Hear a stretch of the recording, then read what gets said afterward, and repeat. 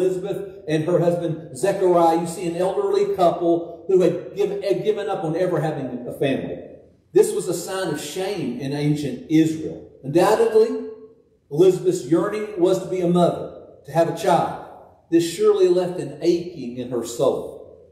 So Gabriel tells Mary this Mary, this is the kind of God whom I'm asking you to serve. One who has compassion on people. One who has visited Elizabeth and now she's going to have a child.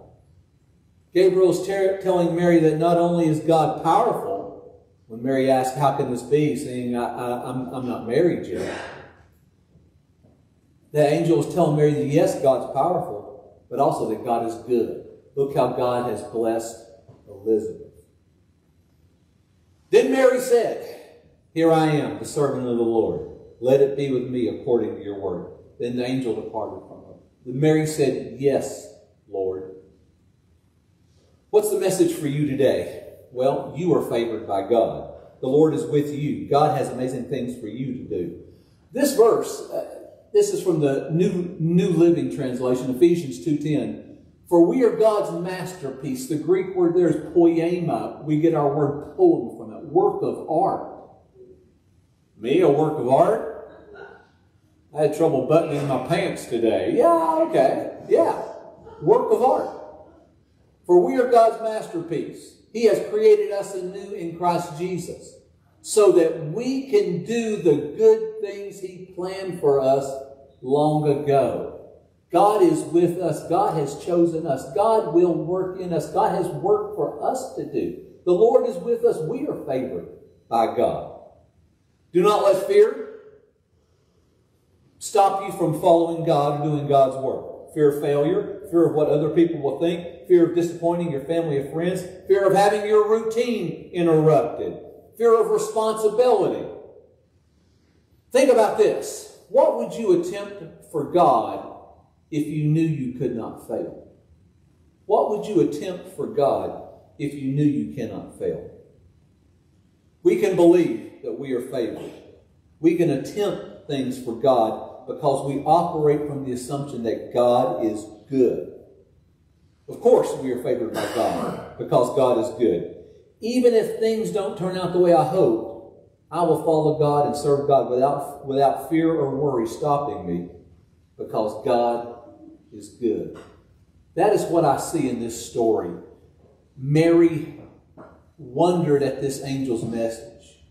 Me, I'm favored by God, yes, and you are favored by God. Mary, don't be afraid because God is good. Look how God has blessed Elizabeth. We can serve God and attempt things for God because God is good, because God has favored and blessed us. We're going to sing a song together. Uh, the song I, I, picked for, for closing out the message is the song Thy Word. It's got a phrase that says, When I feel afraid, think I've lost my way, still you're there right beside me. That reminds me of Psalm 23. Even though I walk through the darkest valley, I will fear no evil, for you are with me. Let's stand together as we sing.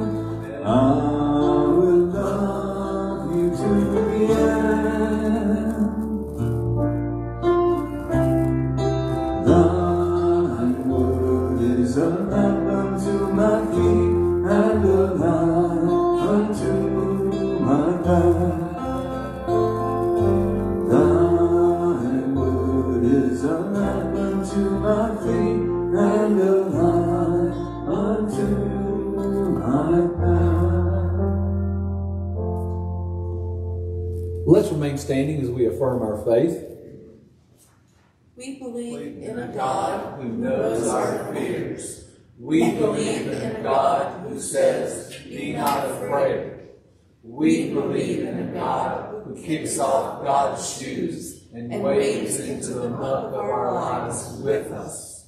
We believe in a God who hemps stars into the night sky so that we can find our way home, and who sends us friends with open doors so we can find our way to love. We believe in a God who finds us in our fear and does not leave us alone. Thanks be to God for a love like that. Amen. Amen. Thanks. You can be seated. Let's take a moment for our prayer time. If you have joys or concerns you'd like to share with the congregation, uh, we'll ask you for those in a moment. I'll mention uh, Alma Moore. A lot of you know Alma. Uh, Alma's in St. Mary's. Uh, Trish, I've talked to Trish a couple of times. She almost in you know I, I don't know what to say serious condition to there's a, a heart procedure they can do. And uh, and and when I talked to Trish last time they were still waiting to consult the cardi- cardiologist to make a decision on whether or not they were going to do the heart decision. So let's be in prayer for for Alma. Uh, and then Trisha Ginter. Uh, Trish and Pete both are, are, home with COVID, so let's be in prayer for them. Uh, and uh, do we have other joys or concerns that we'd like to remember in prayer this morning? Yes, Judy? I just want to remind you that we have cards for the homeless to sign, and Alma and Trish both have cards. Okay. So if you could take them, it Okay. Right. As I mentioned before, there are cards for our homebound folks if you would like to, you know, get a cup of coffee or a cookie or some hot chocolate or tea or whatever and fill out a card. Just sign your name to it, say Merry Christmas, thinking of you. And uh, that, that'd be nice. And I think I saw another.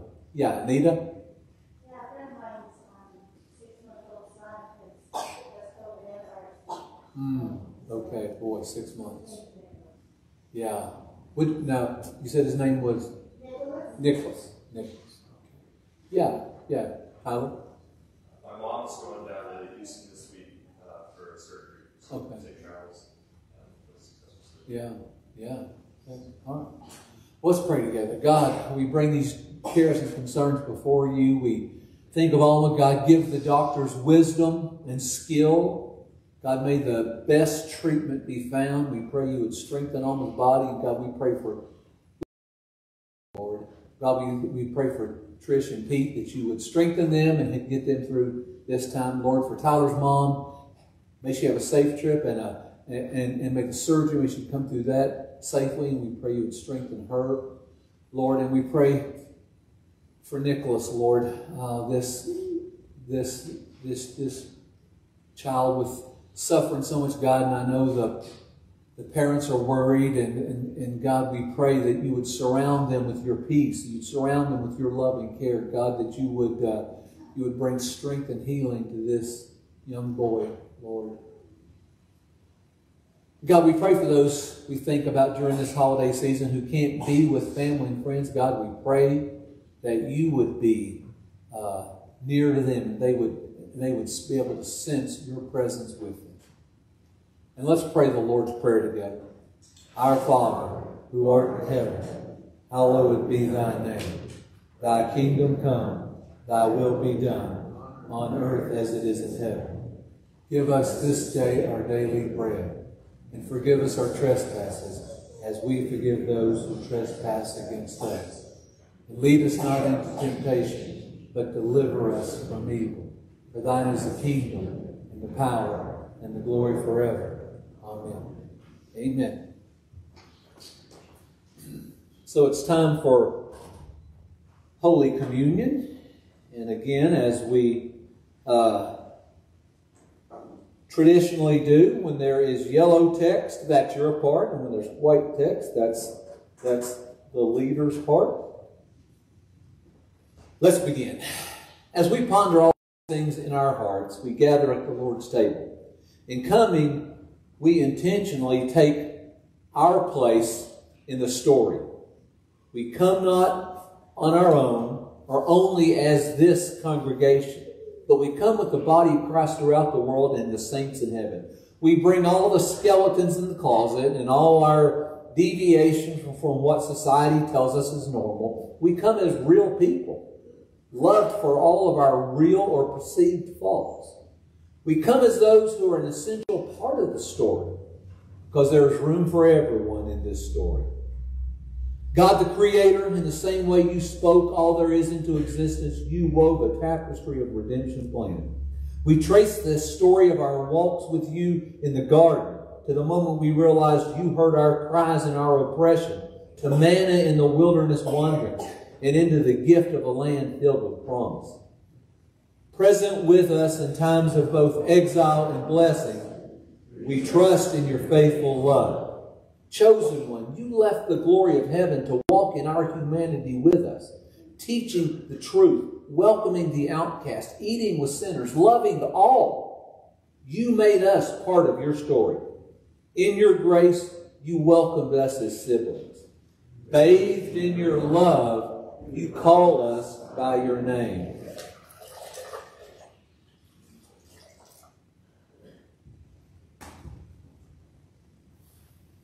Spirit of the Creator, you are the bearer of righteousness, peace, and joy within us. When we wander away, you remind us that there is nowhere we can flee from your presence. When we create walls to keep others out, you remind us that there is a place for everyone in God's family tree. With your spirit of wisdom and truth, we are part of God's continuing story of redemption. Holy Spirit, rain down your love and grace upon us as we gather at your table, offering the cup and loaf. Bring us into full communion as the body of Christ. Make us one with our risen Lord as we celebrate this sacrament in his presence. In the way that you are one, Creator, chosen one, Spirit of the Creator, we join our voices together and we sing of our unity and communion in you. We're going to sing the song, Eat This Bread. And let's sing this together, our communion song. Eat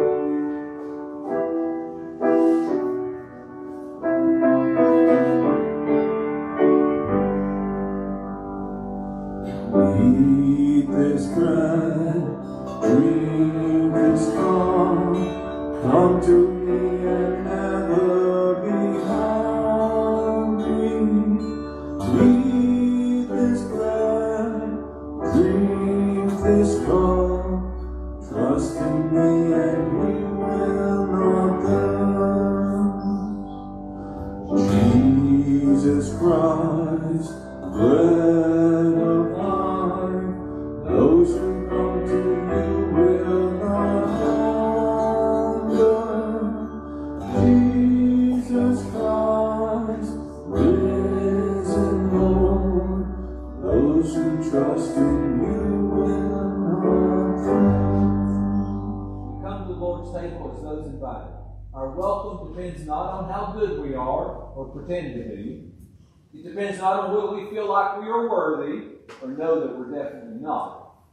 Because this table is a gift of great joy for all people. It is for all people that the chosen one's body was broken, that we might be made whole. It was for all people that the chosen one's his blood was shed, that we might be healed. And as often as we eat and drink this sign of God's grace, we proclaim the truth of the resurrection and the chosen one's return in glory. Scripture tells that on the night he was betrayed, Jesus took bread and he blessed it. And he broke it and said, This is my body given for you. Eat this and remember me. And it says, After the meal, he took the cup and he blessed it and said, This is the blood of the new covenant, which is shed for the forgiveness of sins. Drink this and remember me. Let's pray together. God, we ask that you pour out your Spirit on us gathered here, on these gifts of bread and cup. May they be for us the body and blood of Christ, that we may be your body, serving you without fear, in spite of our fears, serving you in this world. We pray this in your name. Amen. You are loved. You are welcome. Come and eat and drink. There's room for all. If I could have my servers come forward, please.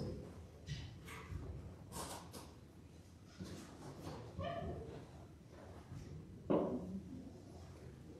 can use one more. There we go. Excellent.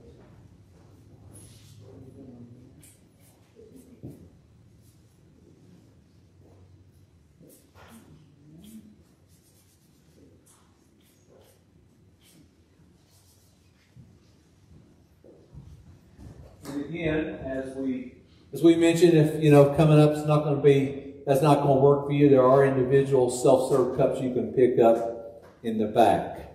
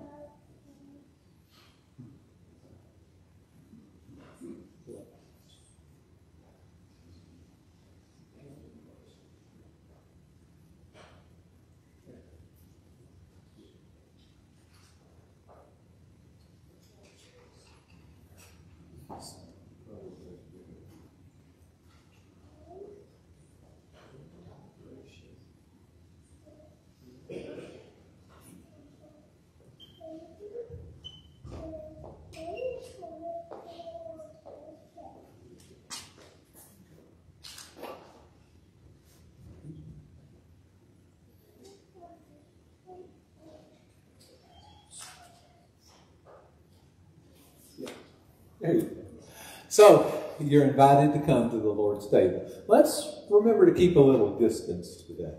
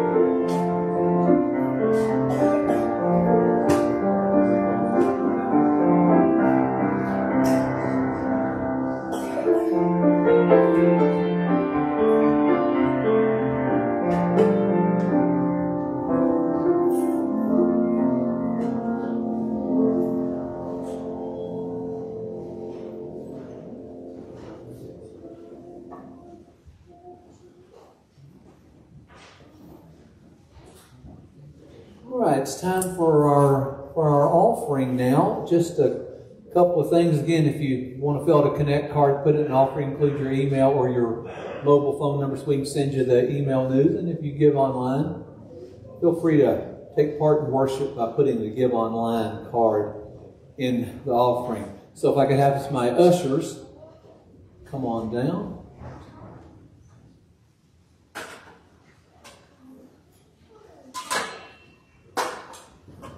Oh, good.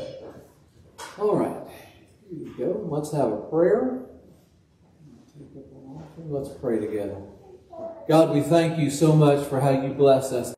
Uh, we are favored by you. We have been the recipients of your blessings. So, God, as we give back to you today, we pray you would put your blessing on this offering to do your work in this world. We pray this in your name. Amen.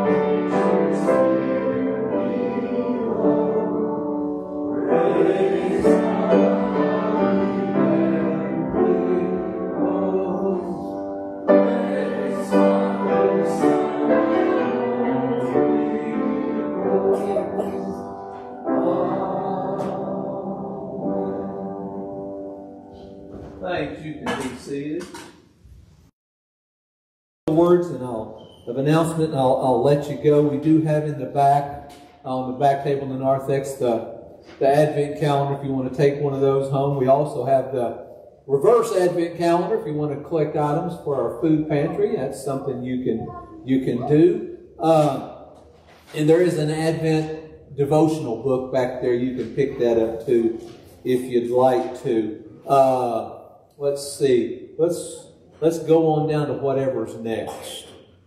I have no idea. It'll be a surprise. Holiday toy drive. We do this every year. Uh, it, this is Pink Sunday. I, I, had pink in the shirt. This is as close as I could get. Uh, some of you, yeah, some of you did a, a, a lot better. It's the Sunday we light the, excuse me, the rose-colored candle, the Gaudete candles from the Latin word for joy. And uh, we have a gift drive. In the last few years, we've been benefiting Aviva Children's Services. They serve thousands, and, I'm sorry to say it's thousands, thousands of foster children in southern Arizona. Uh, and uh, we've got a lot of gifts here. I've got a lot more in my office. After the service, we're going to need to move these to the office. So if you could please help, that would be awesome. You say, Richard, boy, I just forgot all about it. Well, we're not going to take them down until Tuesday around 11. So between 7 and 11, there'll be somebody here at church. You can ring the doorbell on the office door and drop your gift off if you wanted to. You wanted to do that. If you go to our website and look for that icon, that, that logo there, click on that. There's all the information about lists of things that, that are needed and things like that. You can, you can find all that there. Uh, this Wednesday is our next uh, Holloway serving. There's a pancake breakfast at 7 a.m. We get there at 6.15 and we serve parents and kids right up here in Holloway School a great pancake breakfast, and it's and it's it's it's a good time for the parents to be able to spend time with their kids. It's a good family thing, and we provide it all. We need volunteers for that. You could help with that. And then at the same time, we do our monthly school market. We have lots of food items that are dropped off. That's dropped off by the community food bank. We set it up and people can take what they can use there. And so it's a way to really serve our community. And we have some folks who, who, who, who aren't associated with school who will do a drive through. And they'll drive through and pick up. We have lots of grocery items, bread, produce, all kinds of things. So, so that is this Wednesday. It's our, it's, we're a week early because of Christmas break. But if you have any questions, you want to say, boy, I'd like to maybe help, like find out more about it. Al, can you raise your hand? Al's kind of uh, heads that up. Yes, sir. We could use help on Tuesday at two o'clock. Tuesday at 2 o'clock up at Holloway. Okay, that's when they put everything out and get it organized for people to be able to come through and, and get the items from the food bank. So Tuesday, 2 o'clock up at Holloway, you could help there too. Council meets tomorrow, 6 p.m. Uh, it'll be in the Tatum room, but also I will send out tomorrow morning a Zoom link so you can zoom in if you'd like. So that's tomorrow. Uh, that, remember the Christmas cards for the for the shut-in folks is in Tatum room, and then uh, you know I, I haven't I've been holding off kind of announcing Christmas plans basically because I you know I'll be honest with you I haven't had time to uh, think about it a whole lot. Uh, I've got a general plan. I had a general plan for a long time, but as far as putting specifics to it, we're going to do this year for Christmas Eve like we did last year. Uh, we're going to do our Christmas Eve service at 4.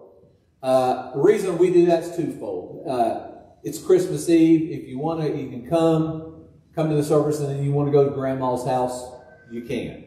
Or if you want to get home and, and start trying to dose the kids with NyQuil so they'll get some sleep. I didn't say I didn't say that. Uh, or if you if you have things you have to assemble still. I remember the first year I gave Tyler his first drum set. Little junior drum set. Oh, that'll be easy. I worked on that thing till 4 a.m. Okay? And I hope he appreciated it. anyway, uh, so uh, 4 o'clock Christmas Eve, we'll, we'll, have, we'll have great music. We'll have We'll still light candles. It'll it'll probably be dreary outside. Who knows? Uh, but it, it worked last year. And you know, and if you don't like to drive at night, then you're good to go too. See, so we work it out for both ends of the spectrum here. And uh, there will be after the service cookies, hot chocolate, and coffee stuff like that. So you know, if you want to bring some homemade cookies, that would be great. I have not yet had a Christmas cookie with with frosting on it, with icing on it this year yet. Uh, and you know, I'm, I'm, I'm missing that. So, uh, normally we do a Christmas decorating at my house. I don't know if we're going to get to it this year or not, a cookie decorating. Uh, but we'll see. But that's Christmas Eve. Then, of course, you go, well, Richard, are you doing church Christmas Day? Well, it's Sunday, isn't it? Uh, that's the short answer. And the long answer is yes. 10 a.m., normal time as always. Will the service be different? It will be different. Okay? Uh, the sermon will finally, for once, be short. Right? Very short. A devotional call. Uh, but we'll take we'll, we'll take extra time on Christmas morning, and it, it, it, won't be a long service. It won't be as long as this. Uh, but we'll have extra time to sing carols. So maybe you've got a favorite Christmas carol, and doggone it, nobody's sung it all year.